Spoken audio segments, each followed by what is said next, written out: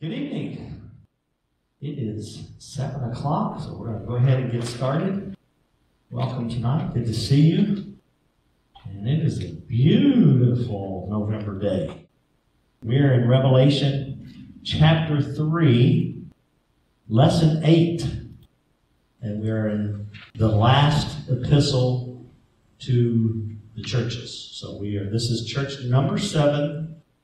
And so we're going to talk about that before we get to the scripture, though, let me give a little bit of just some key points that I want to rehearse and make sure that we understand. Obviously, throughout this, we are looking for a greater revelation of Jesus Christ. That's, that's really been the focus and the center. And so tonight we'll see some more of that. Just want to remind you, because we're going to read it, blessed are those who read, who hear, and who keep those things that are, that are written. So if you're a keeper of what we read, you'll be triple blessed. How many want to be triple blessed? Read here and uh, do. So, this is, like I said, this is the last of the seven churches. Just want to say that this book, Revelation, and in particular the churches that we study, has both present, historic, and prophetic value uh, to them. So, we'll see all of those kinds of things what are we learning? How do we apply it? How do we apply it now? And what does it mean for the future? Uh, book of Revelation, chapter 3, beginning with verse 14 through 22. Finish off that chapter. And to the angel of the church of the Laodiceans write, These things says the Amen, the faithful and true witness, the beginning of the creation of God. I know your works, that you are neither cold nor hot. I could wish you were cold or hot. So then, because you are lukewarm and neither cold nor hot, I will vomit you out of my mouth. Because you say, I am rich, have become wealthy, and have need of nothing, and do not know that you are wretched, miserable, poor, blind, and naked, I counsel you to buy from me gold refined in the fire, that you may be rich, and white garments, that you may be clothed, that the shame of your nakedness may not be revealed. And anoint your eyes with eye salve, that you may see. As many as I love, I rebuke and chasten. Therefore be zealous and repent. Behold, I stand at the door and knock. If anyone hears my voice and opens the door, I will come to him and dine with him, and he with me. To him who overcomes, I will grant to sit with me on my throne, as I also overcame and sat down with my Father on his throne. He who has an ear, let him hear what the Spirit says to the churches. This is probably one that gets preached more often than any uh, because it's talking about, it's very applicable, talking about being hot or cold. Now, we're going to talk about that, and it's not just what you think. There's some, some things that were prevalent in Laodicea the area uh, that make that even more uh, applicable. So, we're going to talk about hot and cold and all those kinds of things. Here it says they were lukewarm, neither hot nor cold. How many like a good cold glass of water? I mean, you know, there's just when you're really thirsty. Now, I like Diet Coke, but when I'm really thirsty, I want a good, cold, icy glass of water. How many of you, when your joints and your muscles are sore and you're achy, nobody like nobody like that in here, right? We're all young and spry. We don't ever need. How many like to get in a hot tub or just a, a soak in a good hot tub of water and just get those muscles and those joints loosened up. You see, there's value to both hot and cold. There's value to both of those. There's very little value to lukewarm. Really isn't. Now, my wife can go to the faucet and stick the cup underneath there and just drink water that's not cold. I don't like it. I want it, I want it cold. I want it to be cold or hot. I want my coffee to have steam rolling off of it, or I want my water to have ice in it. Because they both have value. So when we look at this, don't look at hot is good and cold is bad. Because it's the in between state that doesn't have the value that it ought to have. And we're, and we're going to kind of prove that by some historical knowledge of the area of Laodicea, that this is the context of that. Uh, it's important for us to understand that. So, what is the age group that we're talking about? So, this church represents the age of about 1900 through the tribulation. So, uh, if I was preaching, I'd say, tell your neighbor, that's now. 1900 through the tribulation is the age that we're looking at. It's the age that we live in now. Just because we live in this age, it does not mean that we individually nor as a church have the characteristics of the Laodicean church. Hopefully we don't. I pray that we are not a lukewarm church. Amen? That we're on fire for the Lord. That we're a cold drink of water who's, to somebody who needs relief from tribulation and trials and all of that. Just because we live in this age, though it is a representation in general of the age that we live in. And, and I think if you were to look across a broad spectrum of churches, that we would see in this age that there is a lot of lukewarmness about many churches. I don't say that to brag about our church. Because if we don't watch it, we could slip over into being lukewarm as well, right? How do you keep from being lukewarm?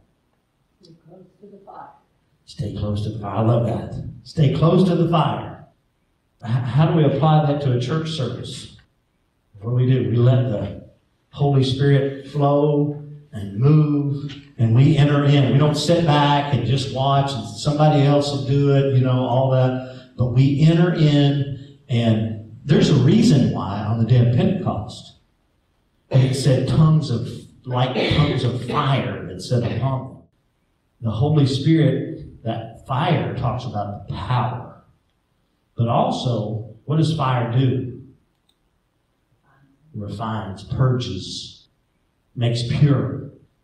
We see all these applications of hot and cold uh, throughout this one of the characteristics of this church, and I think if you'll look at the day and age that we live in, is that this church was very wealthy. The age that we live in is a very wealthy age. When you look at it historically, and I had the privilege of taking a history of Christianity class, not finishing that not too long ago, this is the richest age throughout all history. Even though not everybody's rich, but it is the richest church age in particular. And you'll see that, you see that in particular. I would say, I, I haven't checked lately, but I know at one point in history, the Catholic Church was literally the richest organization in the entire world. Bigger, holding more land mass, more properties, more uh, richer than even some factories and big businesses. Okay, so uh, this is a rich, wealthy area as well, Laodicea was. And this time frame that we live in is a very wealthy time frame. Uh, Lord, give us some more wealth, amen. uh, to do your work, right? Uh, so one of the characteristics is the wealth. The church in Laodicea was also in a very wealthy area, and it, in general, did not suffer persecution like many of the other ages. Though there have been world wars and things like that, we have not, as the church, capital C, experienced the type of persecution that they did uh, at the very beginning, when people were being stoned and pulled apart and burned and put, put in oil and you know all those kinds of things that we know that the disciples uh, and the apostles, many of them, went through. So this is a not as persecuted age very little outside persecution, very prosperous age. But in saying that, of all the churches that we've discussed, I would say that this church, if you were to give it a grade, how does the Lord speak about this church, he probably gives it the worst grade of all. Because there's very little good about this church that's lukewarm. When we look at this, we'll, we'll see that. As a matter of fact, the church of Laodicea gets no commendation whatsoever. It doesn't say you've done anything here. So that's a sad state. I want to say again, Lord, don't let us be the church of Laodicea, right? We want to be on fire for the Lord. In contrast to Philadelphia, the church of Philadelphia, which Jason talked about last week, that church didn't have any condemnation. They were the church, everybody knows, you talked about last week. I listened, I heard your, your voices. Philadelphia means what? Brotherly love. So that's why a church that's full of the love of God is going to get some attaboys, some commendation from uh, the Lord. And so we want to strive to be like that. So, really, Philadelphia represents the true church. It was not a perfect church, yet it was perfect in position. What do I mean by that? What was its position? on the right path, for one thing. On the right path. Its position was in Christ. We can be in Christ and not be perfect, but yet be in perfect position. So we're saved, right? We're under the grace and the blood of Christ. That doesn't mean we're perfect, but we're in a perfect position because we're in Christ. That is important for us to understand uh, because this is the verse that Kay actually asked me about when we first started talking about these churches. Why do you say commendation or condemnation? Because the church that is in Christ, there is therefore now no condemnation for those who are what? In Christ. So the church of Philadelphia was in Christ and they were in a perfect position, but yet not perfect. How many knows as long as we're in these human bodies, we'll never be perfect, right? But we can be perfectly under the blood of Christ and be saved. So that's important for us to understand. So we can be perfect in position, but not necessarily perfect in condition. That's a play on words purposefully. What does the Bible tell us? It says, work out your own salvation with what? Fear and trembling. If I'm saved, why do I need to fear and tremble? I'm in a perfect position, but I'm not necessarily in a perfect condition. So therefore, I am working out my own salvation with fear and trembling, and I'm allowing the Holy Spirit to convict and to change me, and I'm listening to the Holy Spirit. You see, there is a, a, difference, and I, I know it may sound a little bit like semantics, but we can be in perfect position, but not perfect condition. But guess what? We don't have to be in perfect condition to make it to heaven. Amen? Do you still have the Holy Spirit say, that wasn't right. you shouldn't have done it that way. That wasn't right. You should have talked nicer to that person. You should you should have been sweet. You should have been, you know, all this kind of if the Holy Spirit's still doing that, every time you get in your car. yeah, yeah, yeah. Uh, yeah, sometimes we, we need to really be saved when we get in a car, don't we? And uh, so there is a difference in being perfect in position, but not perfect condition. Hopefully, I didn't confuse anybody. You know what I'm talking about. So, this Philadelphia church was uh, positioned in Christ, and so it was in good shape. The church of Laodicea, when you study it, many would call it the institutional church, the church of the age. All the government and all of the structure was there Everything that made it look like a church on the outside, but not on the inside. It was lukewarm.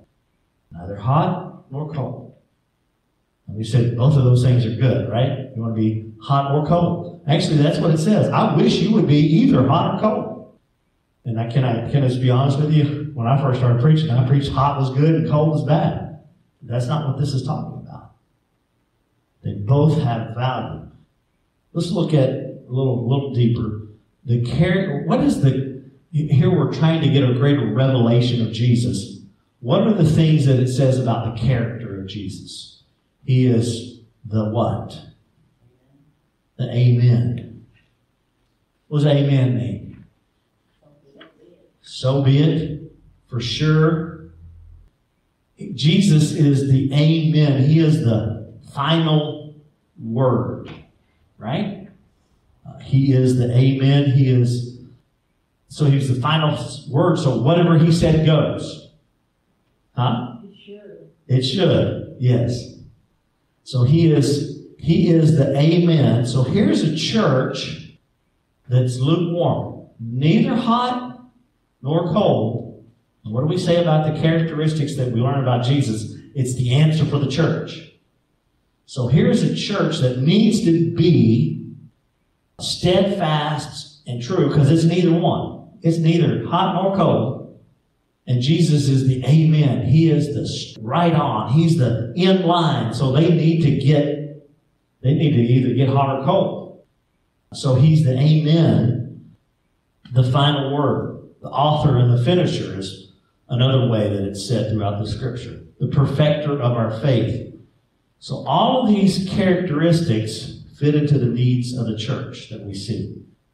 It says that he is the faithful and true witness. He's the real deal. This tells my age, but I say it all the time. You know that commercial from years ago, and y'all are older than me, so I know you saw it. Uh, not everybody. Kay's not older than me. But anyway, uh, Coke is the is the real thing, right? No, Jesus is the real thing. He's the faithful and true witness. In contrast to the Laodicean church, who was neither hot nor cold, he is the real deal. If Jesus is the faithful witness, what is he witness of? I was supposed to have jury duty Monday and next Monday. And praise the Lord, I went down there and they said, You didn't get the notice, you don't have to serve. I was like, That's awesome. I'm glad I didn't have to. But if Jesus is the witness, the faithful and true witness, what does he witness to? To everything, really, if you stop to think about it. I mean, To everything. So, creation, uh, because he created it all, right?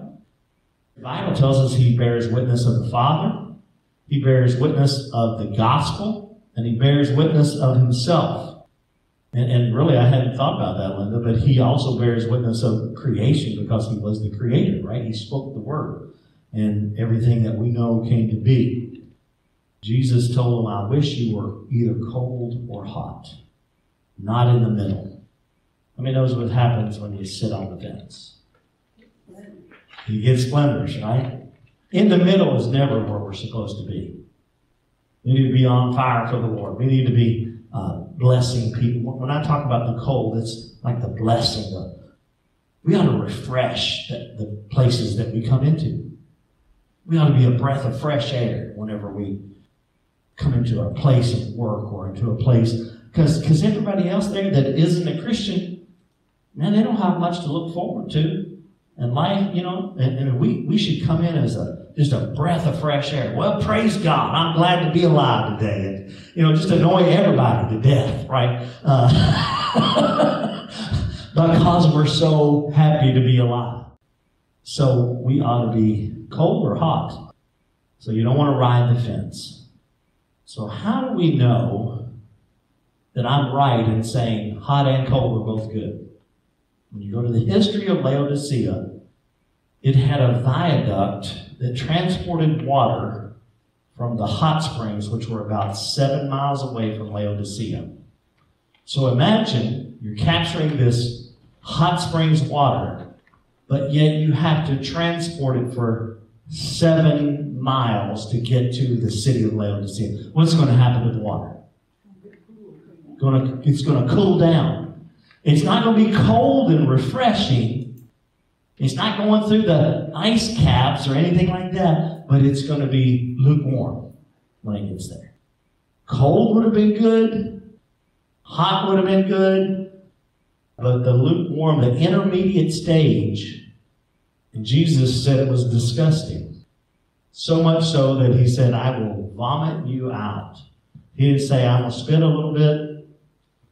He didn't say, I'm going to gag. He said, I'm going to vomit you out, right? If you're lukewarm. I know that's graphic, but I'm, I'm trying to get across a picture here that to the Lord, we're to be hot or cold, not intermediate. I got a question. Yes. I, I've always thought if you're cold, you don't have no spirit about you at all. That is not good either. But, but that's not what this is, that's not the context of this. The historical context of this is that cold would have been good and hot would have been good. Lukewarm is not good. It's in the middle. Now, do you need the fire of the Holy Spirit? Absolutely. But the context of this is telling us, because Jesus said, I wish you were either hot or cold. But letting cold in, not, I, I always thought of it as not being good because I'm taking it as if they're cold towards God. But God's not gonna want us to be. But He's not going to want us to be cold, is He?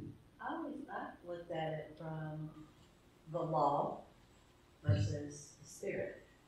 Which, you know, you say too much, you know, Bible you dry up, too Yeah, much word you dry up. too much word you dry- spirit yeah. you blow up. Yeah. That, you know, I would rather you be under the law, or I would rather you be under grace. You can look at it that way. That's kind of the way I, but- but I wondered if that. But the historical context of this, which we have to know, tells us that this is what it's talking about. Because otherwise, he wouldn't have said, he would have said, I wish you were hot and not cold. He didn't say that. He said, I wish you were either Both are Hot. extremes and or cold. There's a passion. Absolutely. behind both of those. Yes. So we are to be, I'll skip ahead, but it says the answer for us is to be zealous and to repent. What's zealous? On fire, passionate. I'm telling you that I used to preach it and teach it that way, but when you look at the historical context of it, you begin to see more. I guess I've been wrong a long time. and now I would be the first to tell you that I think the Lord would want us to be on fire for Him, passionate. I. And I understand. Yeah, yeah. You want hot. Yeah, I understand that. This church of Laodicea doesn't really, if you look at the context of hot and cold, and they're in the middle, in the middle kind of alludes to the fact that they don't really believe anything. You know, they're kind of swaying this way and swaying that way, and, and they're not sold out. They are a professing church, but not a possessing church. Perhaps given the company they keep, they, they're running with the pagans, they're a little more Yeah. namaste, and if they're running with the Christians, they're, Yeah. you know.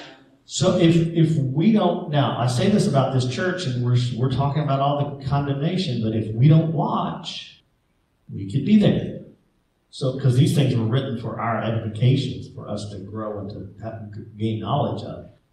And I think it gets to really what Kate was talking about. We need to be passionate about God. I know we're Pentecostal, but you don't have to shout and run the aisles and scream to be passionate about God. You can meet people's needs and be good Samaritan and be, you know, be passionate about God. It's not about, sometimes we, as Pentecostals, we, we get wildfire instead of just fire. And wildfire is not good. Fire of the Lord has a purpose and a focus, yes.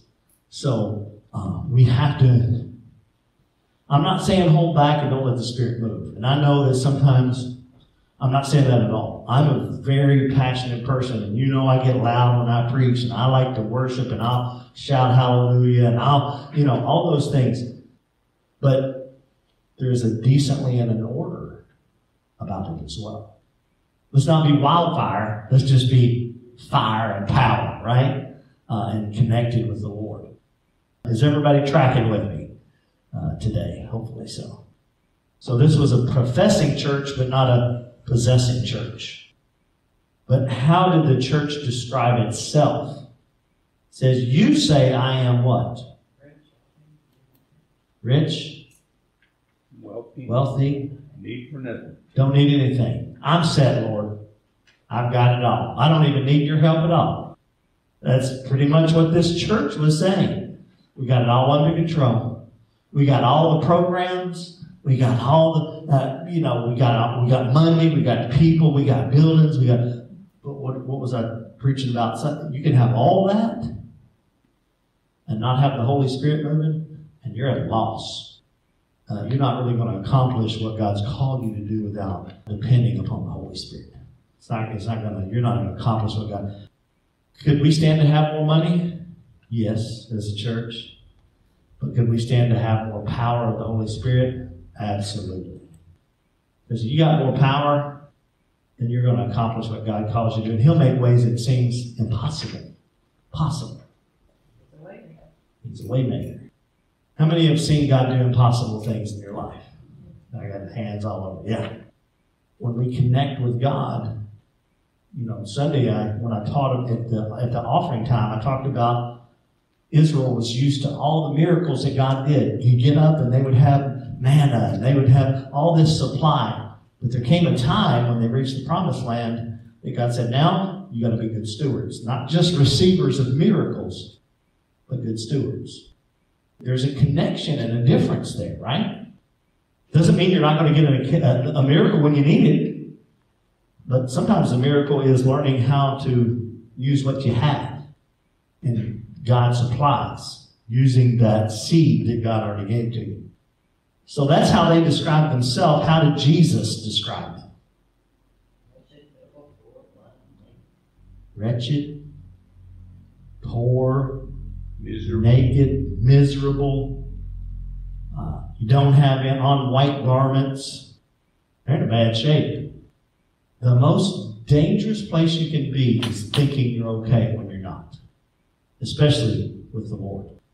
That's the most dangerous place you can be. So, while this church probably didn't want to hear this, what happens when we have transparency? When you have transparency, you're able to see what is really happening and then do something about it. Now, I went to General Board, and he, he would be fine with me telling this. Our, our national bishop, which preached here just a, just a couple of weeks ago, the organization has a lot of debt. We're still dealing with some debt from previous generations and administrations, and so he's just being just totally transparent. And you know what the response of the bishops and the people and the leaders there was? Not, I'm mad because we're in debt and we need to work this out, but wow, I appreciate the transparency. Now we know where we're at, and guess what? We're on board with you. We can do something about it. Anybody ever had the Holy Spirit just read your mail, tell you when you're you thought you were this, but you, you really are over here on the scale, right? We need that. It's hard to welcome that, but we need that as a church. If we as a church, if the Holy Spirit tells me we as a church are on the wrong path, and I'm a leader, then we're going to try to get back on the right path. We're not going to keep heading in the wrong direction and put our head in the sand. I think that's what it means when it says you're blind. Yeah, You don't know where you're going, you can't see. spiritually blind. Just I like, I like the other one, naked too, meaning you're exposed and vulnerable. Yes. And you are vulnerable when you don't know where you are and you don't know your true condition. You're really vulnerable as a body or as a person. There's so much depth in this. That's why we can take this one church and teach about it for 40 to 50 minutes because there's just so much in here. Bill said he likes that it says they're blind. Well, this area was famous for having a eye salve that they sold to people, and it actually helped heal certain conditions and of the eyes. So that's why the Lord here is saying there's a there's a they understand. How, many knows that when, when you teach, if you can use an illustration that somebody understands, they're going to get it. It's going to connect. And he's like, hey, you know that eye that this area is famous for? You need to get some spiritual eye and learn how to see where I'm, I'm showing you where you're at, right? And so uh, it, it's important. So this, uh, he's saying you're blind, you're spiritually blind, and what part of it is, I think, is that they're seeing only the physical, materialistic things. Their focus was, I'm rich, I'm wealthy, I don't need anything. When all along they're poor and miserable and all of this, they, they don't really see because all they see is what's in front of them. Do we have money? Do we have supplies? There's more to life than how much money you have in your bank account or how many investments you have. What kind of credit? Does that mean it's wrong to be rich? Absolutely not. It's also not wrong to be poor. The Bible says we'll have the poor, always have the poor. Use that money if you're rich. Absolutely. It is what you do with it. That's a good point. And there's a difference in having wealth and wealth having you. Are you possessing the wealth and are you making decisions to use it for the Lord and to bless the kingdom, or are you waking up in the middle of the night thinking, how can I make more? How can I have more? How can I be like the Joneses? And that's just, you know what I'm saying? We're going to be like the Joneses. Because that's a saying. That, but um, are we materialistic in our views, or are we really seeing the spirit realm? And It's important for us to, to know that. Not only were they materialistically focused, but wow, wow, this is going to sound just like our age, I believe. They were also concerned about the justice of the people. Now that sounds good at first, but what that trans, translates is to they were the church of the rights of the people, or human rights. So, in other words, I'm going to do what I want to do. I'm going to say what I want to say. I'm going to go where I want to go. I'm going to be who I want to be. Let me know that has not ever been a Christian attitude. Because whose are we? We're the Lord's, right? And so it, they, they had this attitude because everything was materialistically focused. I I gotta have, I gotta have, because I deserve it. How many times do you hear that on TV? You deserve to have this boat. Drink this beer and you'll have all these women that go along with the boat too. I mean, it's just like, you deserve it. You have the right to have it. Well, who owns you? What owns you? Uh, we see this is that human rights focus. Understand me, I'm not saying that we don't have basic human rights.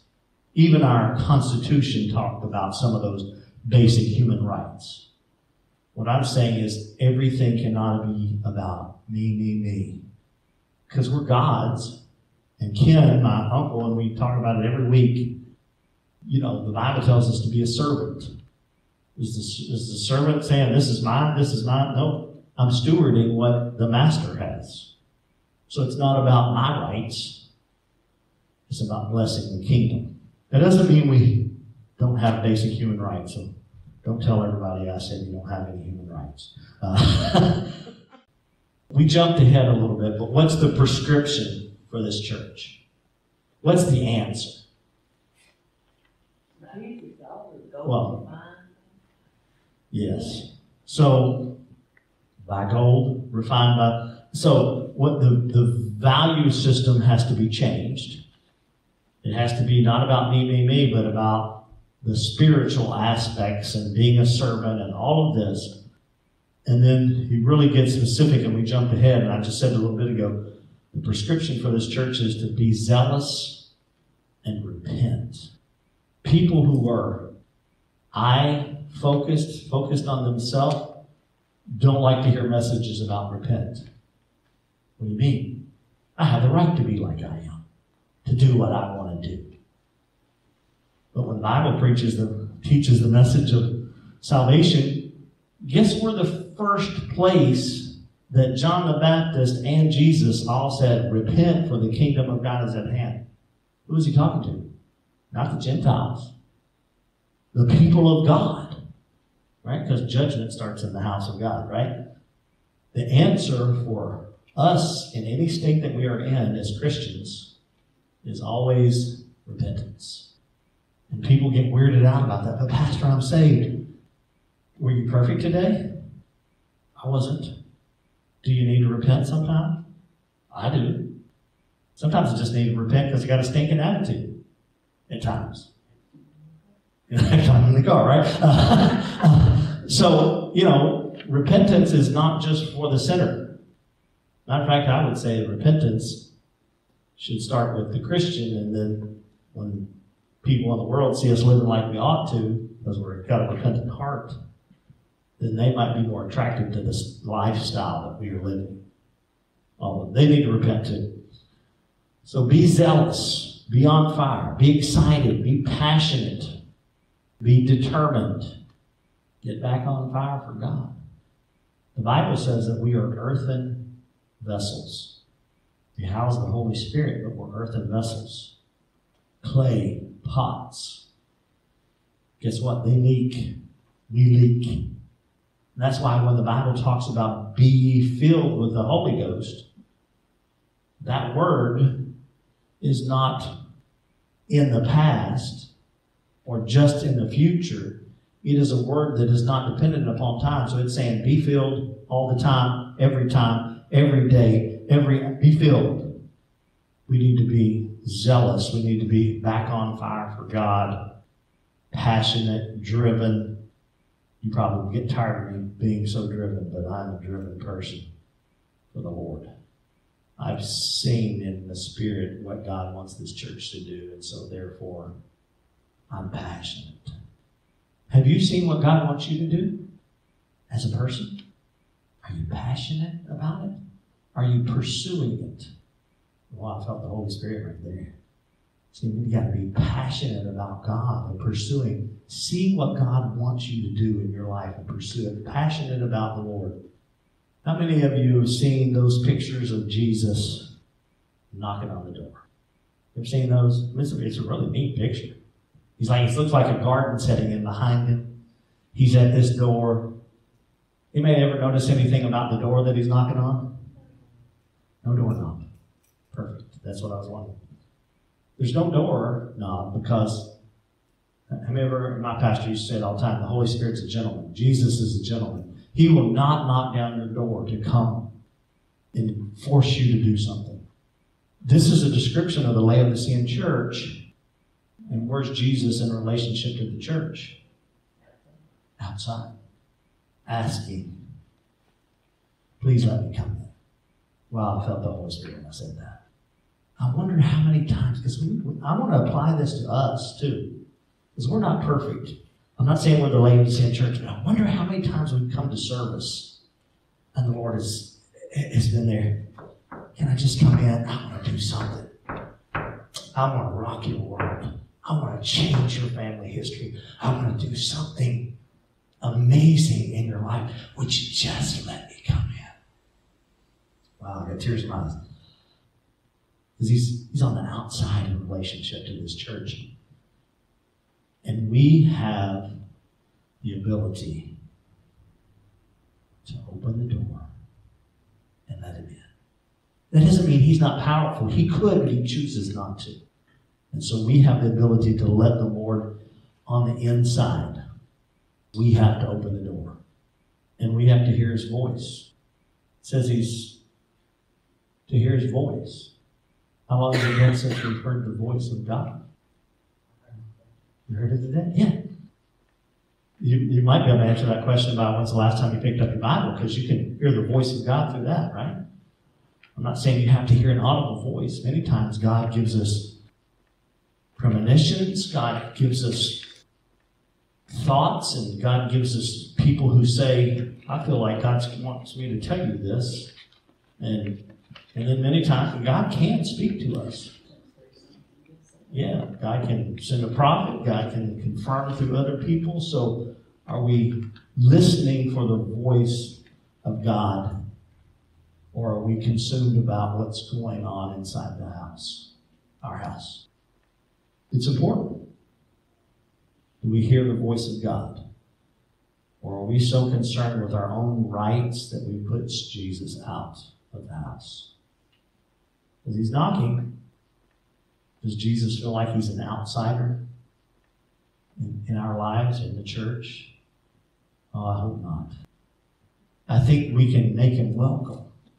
Many times when leading worship and I come up to preach, I, I'm led to say, Holy Spirit, we welcome you. We roll out the red carpet. I don't mean a literal red carpet. I mean, we want what you want. Come on in. Wreck us if you have to. I've said that a couple times tonight. Sometimes God will change your thinking and your motivation and just mess you up. He does that. Have you ever had God just do that for you?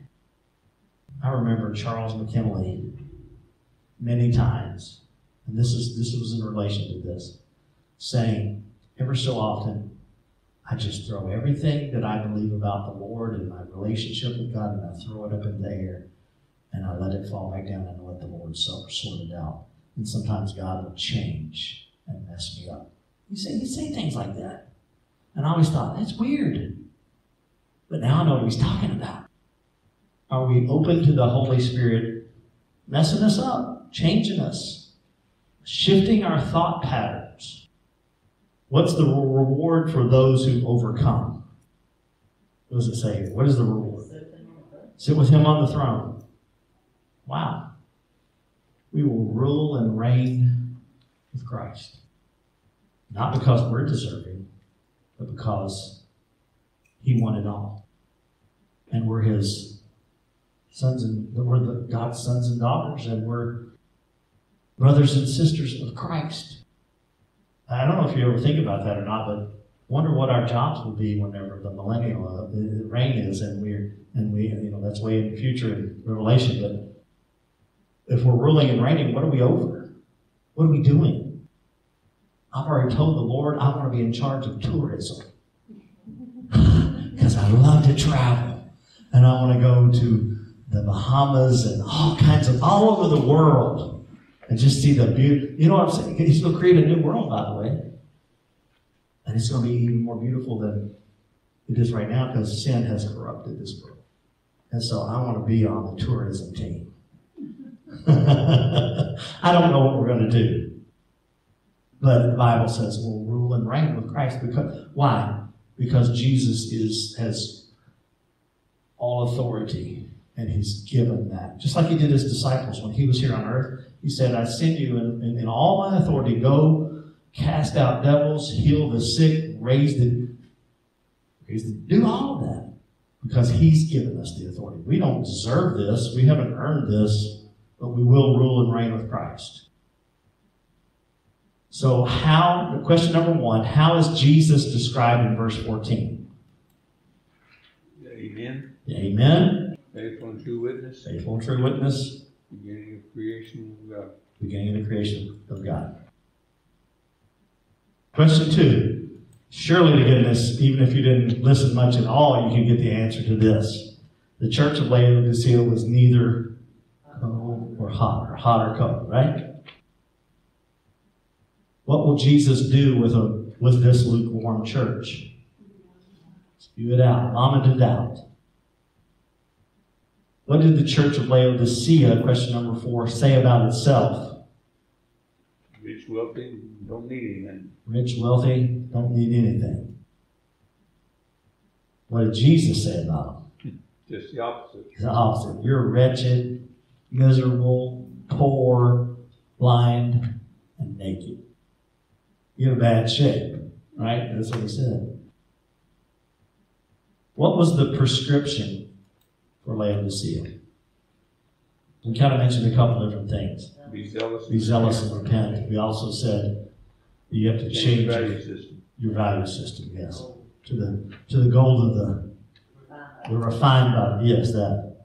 My Bible actually says earnest instead of zealous, which I think played up to that faithful and true. Mm-hmm. The Yeah, earnestness. Okay, in relation to this church, question number seven, where is Jesus and what is he doing? Outside and asking. Outside and knocking on the door, or whatever, however you s- stated that.